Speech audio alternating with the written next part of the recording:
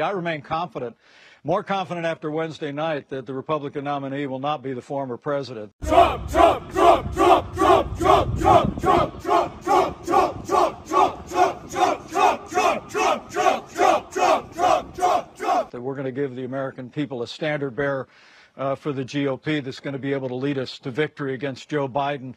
You, but let's face it, people want someone they know can already do the job. President Trump has done the job. We had the best economy of my lifetime. Everyone was doing better. The border was secure.